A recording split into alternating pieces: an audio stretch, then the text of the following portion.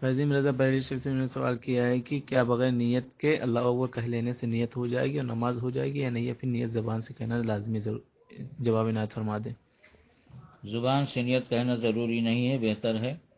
लिहाजा दिल में अगर नमाज़ पढ़ने का पक्का इरादा है तो उससे नमाज़ हो जाएगी। और ज़ुबान से नहीं कहा है तो उसमें कोई हर्ज नहीं।